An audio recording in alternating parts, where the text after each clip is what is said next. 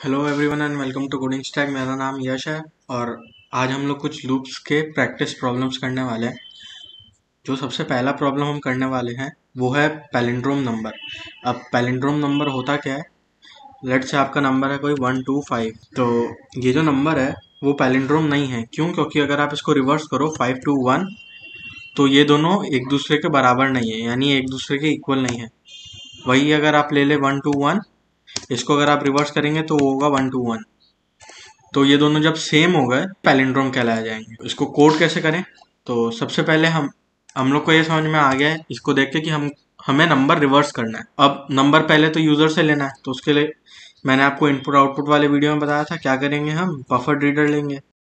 Buffer reader B R equals to new buffer reader buffer reader B R equals to new buffer reader and इसके अंदर आप पास करेंगे new input stream reader new input stream reader and system dot in ये पूरा code मैंने आपको बताया था इनपुट आउटपुट की वीडियो में। नहीं देखा हो तो देख लीजिएगा। उसके बाद आप लेंगे एक int N equals to B R equals int N equals to integer dot percent B R dot read line अब हमें लूप का तो थ्रोज आया हुआ एक्सेप्शन हम लगाए नहीं थे, वो लगा दिया। अब हम क्या करेंगे? सबसे पहले हम लूप लगाएँगे, जब तक नंबर ज़ीरो से बड़ा है तो हम लिख लेते हैं। उसके पहले इसको एक टेम्पररी नंबर में भी स्टोर कर लेते हैं int temp equals to N अब हम टेम्पररी नंबर को रिवर्स करेंगे या फिर इसको आप रिवर्स लिख लीजिए। अच्छा हम टेम्पररी नंबर से स्टार्ट करते अब हम टेम्प में इसको इसलिए स्टोर कर रहे हैं क्योंकि हम टेम्प को मॉडिफाई करेंगे तो एन में कोई चेंजेस नहीं आना चाहिए उसके लिए। और हम एक रिवर्स नाम का नंबर भी ले लेते हैं। अब हम ये क्यों ले रहे हैं? आगे समझ में आएगा आपको। While temp is greater than zero अब आप ले लीजिए रिव प्लस इक्वल्स टू या फिर आप ऐसे लीजिए। Reverse equals to reverse plus N mod ten आप ये ले लीजिए। Reverse equals to reverse into ten plus N mod ten temp equals to temp by ten and उसके बाद आप चेक कीजिए if temp equals to equals to sorry if rev equals to equals to N print is palindrome else आप print कीजिए not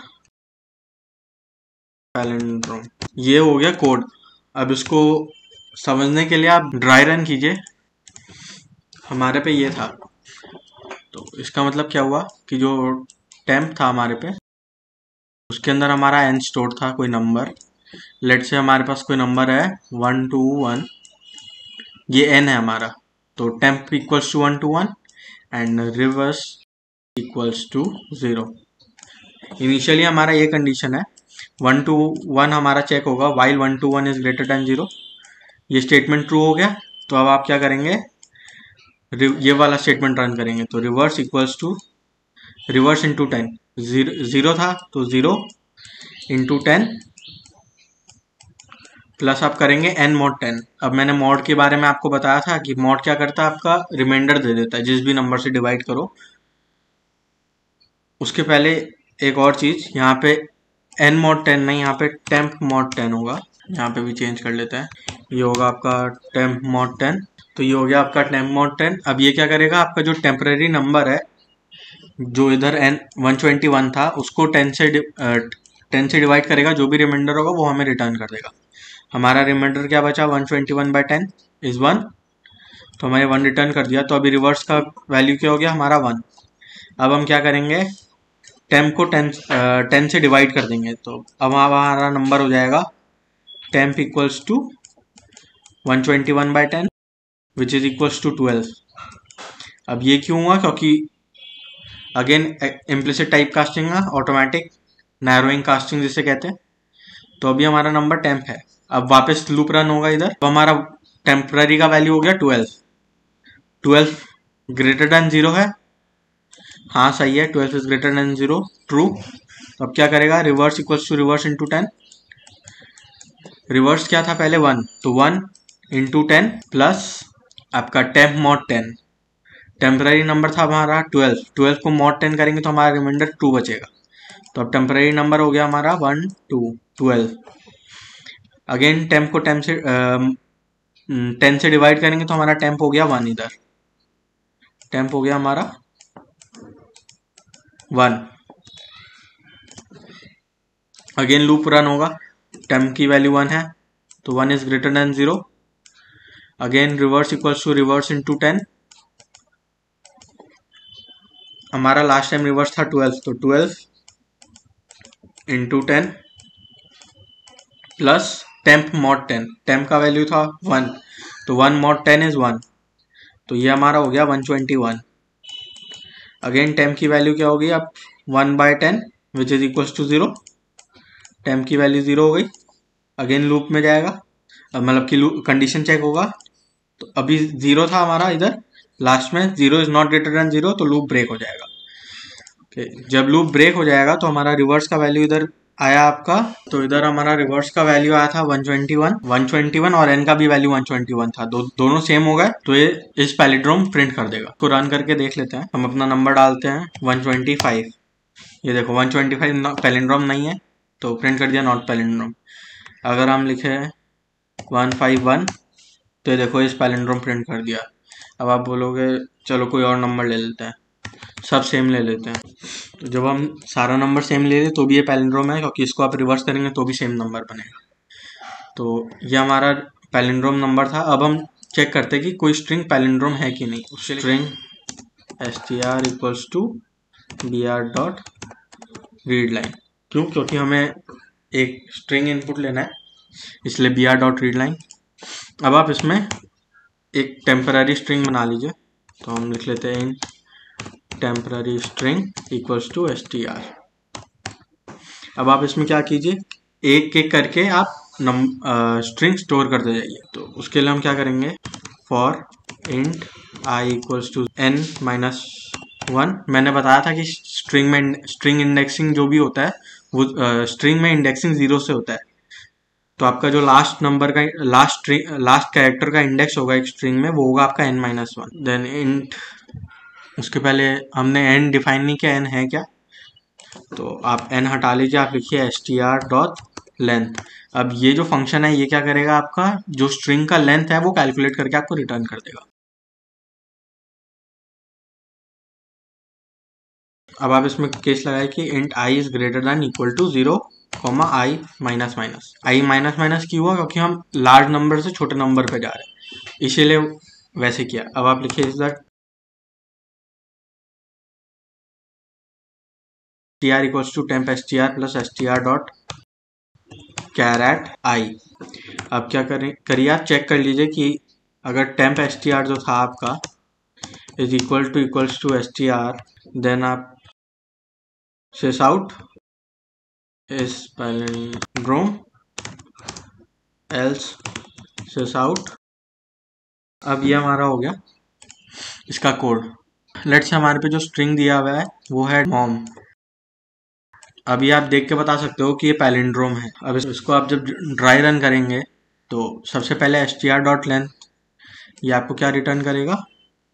आपका string का length हमारा string का लेंथ थ्री है तो थ्री रिटर्न किया एंड आई का वैल्यू फिर क्या होगा? Three minus one which is two अब two is great greater than या इक्वल टू ज़ीरो ये सही है। तो हमारा लूप के अंदर एंटर करेगा। अब हमारा टेम्प स्ट्रिंग के अंदर क्या स्टोर करेगा? एक सेकेंड हमने इधर टेम्प स्ट्रिंग को डिफाइन नहीं किया है। टेम्प स्ट्रिंग को हमने गलत डिफाइन किया है। इधर आपका होगा, न, खाली ऐसे कोड्स अब आपका टेम्परेरी स्ट्रिंग अभी एम है। इधर आपका रिटर्न करेगा। टेम्प्रेरी स्ट्रिंग में सॉरी इधर आपका टेम्प स्ट्रिंग क्या अपडेट होगा? पहले था कुछ भी नहीं तो इधर टेम्प स्ट्रिंग नल था तो इधर कुछ भी ऐड नहीं होगा। Plus S T R dot char at I अब आई का वैल्यू टू था। S T R dot char at मैंने आपको बताया था कि ये उस पर्टिकुलर इंडेक्स जिसने आप, जिस, जो आपने पास किया, यानी I which is equal to two तो जो हमारा सेकेंड इंडेक्स होगा उस पर जो कैरेक्टर होगा वो रिटर्न कर देगा। तो ये ज़ीरो वन टू हमारा सेकेंड पे कैरेक्टर है एम तो टेम्प स्ट्रिंग इज़ एम अब क्या करेगा? वापस रन ये रिपीट करेगा, उसके पहले आई माइनस माइनस करेगा। तो आई की वैल्यू अब हो गई one I equals to one तो हमारा आई का वैल्यू हो गया वन अब क्या करेगा? I is greater one is greater equal to zero true तो अब इसके अंदर घुसेगा। अब हमारा टेम्प स्ट्रिंग पहले था एम तो M plus S T R dot char at I I का वैल्यू वन था S T R dot char at I O तो एम प्लस ओ अब ये प्लस का साइन आपको याद होगा कि ये कॉन्कैटिनेट कर देता है, यानी जोड़ देता है स्ट्रिंग को. तो अब हमारा जो टेम्प स्ट्रिंग है, वो होगा एम ओ अगेन हमारा रिपीट करेगा, उसके पहले आई माइनस माइनस करेगा आई की वैल्यू हो गई zero zero is greater than equal to zero greater तो नहीं है, पर इक्वल है। तो ये कंडीशन ट्रू हो गया। लूप के अंदर एंटर करेगा। हमारा पहले स्ट्रिंग था एमओ उसमें हम ऐड कर रहे हैं S T R dot char at zero zero पे हमारा एम था। तो ये हमारा टेम्प स्ट्रिंग कॉन्कैटिनेट होके बन गया। एम ओ फिर एम अगेन हमारा आई का वैल्यू माइनस माइनस होगा। तो I equals to minus one अब हमारा ये कंडीशन फॉल्स हो गया तो लूप ब्रेक कर जाएगा। उसके बाद हमारा कंडीशन चेक होगा कि temp string equals to equals to S T R बोलेगा हाँ तो इस पैलेंड्रोम प्रिंट करेगा, नहीं तो नॉट पैलेंड्रोम प्रिंट करेगा।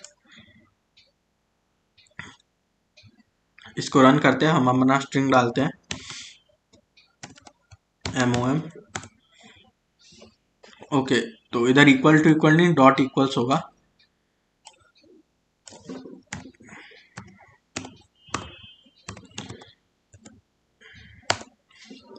अब डॉट इक्वल्स क्या करता है कि ये चेक करता है स्ट्रिंग के लिए कि स्ट्रिंग दो स्ट्रिंग बराबर है कि नहीं।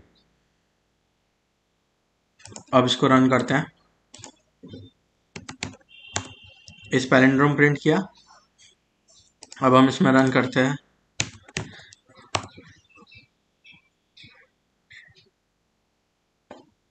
इधर मैंने ये उल्टा प्रिंट कर दिया। इसमें एस पास होगा। अगेन रन करते हैं इसको। ये होगा आपका M O M is palindrome इसको आप अगेन रन कीजिए।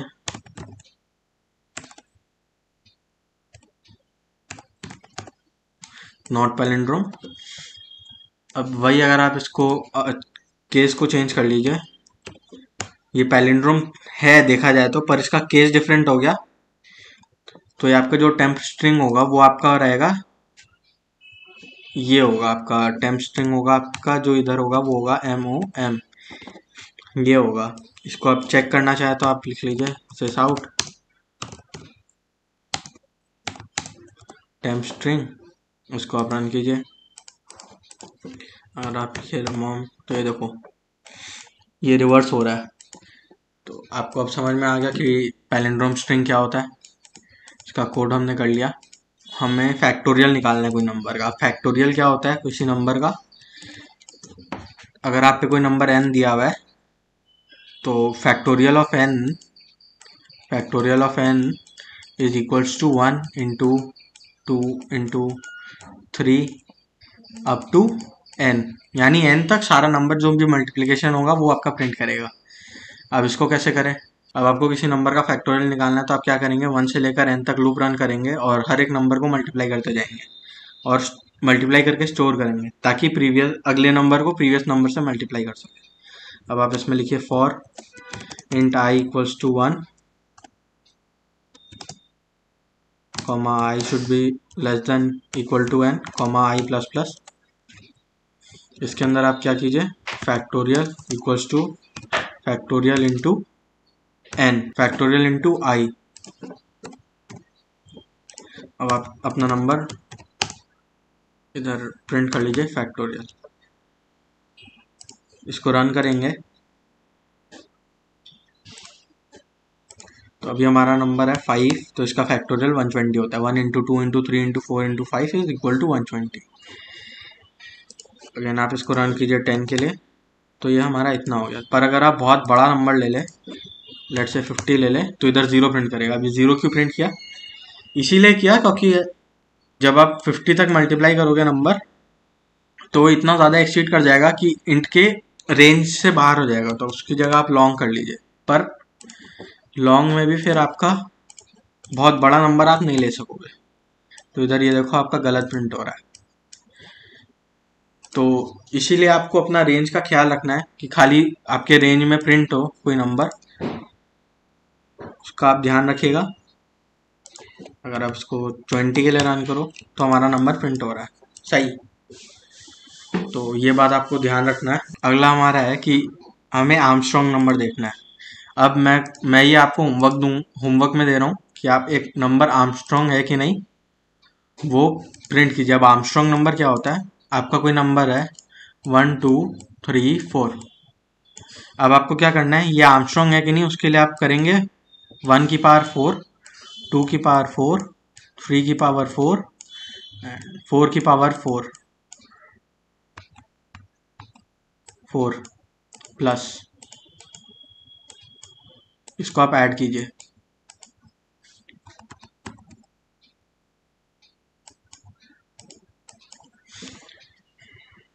अब ये बात आप ध्यान रखिए कि इसको जब आप सम करेंगे तो जो भी नंबर आएगा टी अगर T equals to equals to N है T equals N then the number is Armstrong else the number is not an Armstrong number अब इसमें कैच ये है कि जितना भी आपका एन का लेंथ होगा एन का लेंथ इज़ एल इधर चार था तो मैंने चार की पावर लिया।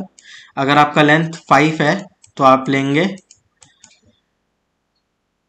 हर एक नंबर मतलब कि हर एक डिजिट इसका एक्स हर एक डिजिट एक्स की पावर फाइव तो अगर इधर रहेगा आपका number four, three, two, five, one तो ये पाँच, इसका लेंथ कितना है? पाँच तो आप करेंगे फोर की पावर फाइव प्लस थ्री की पावर फाइव प्लस टू की पावर फाइव